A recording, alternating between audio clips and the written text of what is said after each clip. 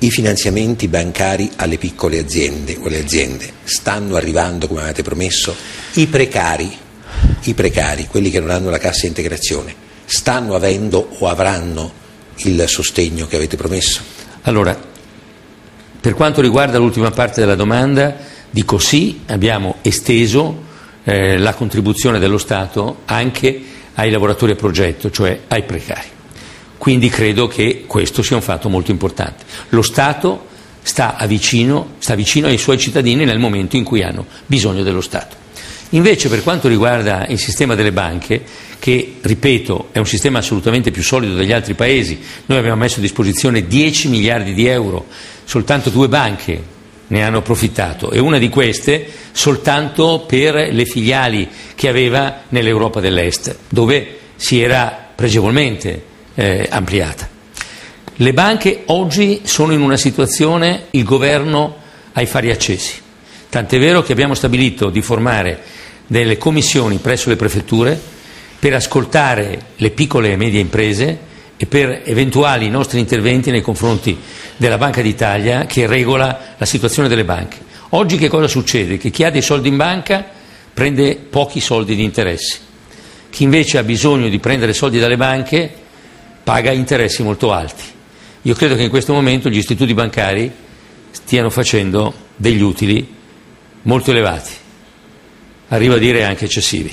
Quindi io credo che sia un dovere della Banca d'Italia, stimolata dal governo, di intervenire affinché le banche continuino a fare il loro mestiere, continuino a fare le banche, che è quello di sostenere l'economia, di sostenere i consumi e di sostenere chi rischia, chi investe, chi lavora, chi produce. Faccio un'osservazione al direttore che mi è venuta ascoltandola prima e ritorno sul fatto che questa crisi è in gran parte psicologica. Una grande situazione di negatività si è creata perché le imprese hanno avuto paura di continuare a investire nella pubblicità.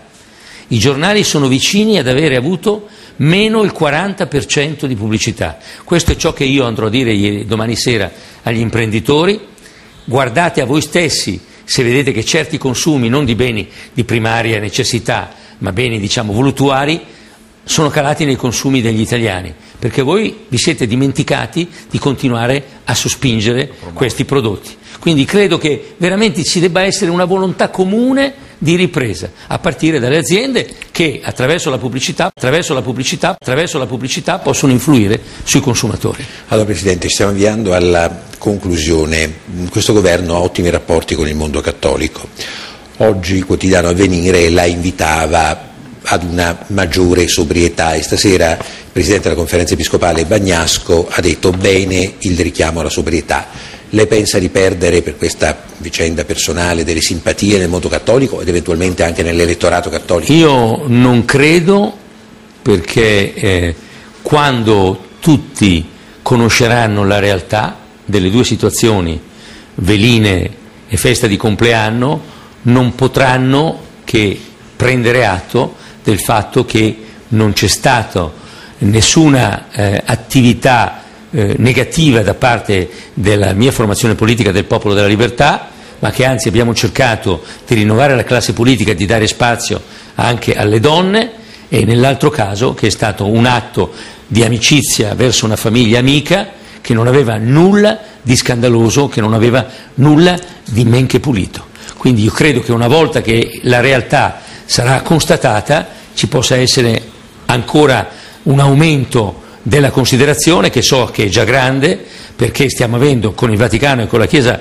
eh, Cattolica i migliori rapporti per loro affermazione precisa che mai abbiano avuto Vaticano e Chiesa Cattolica con un governo italiano.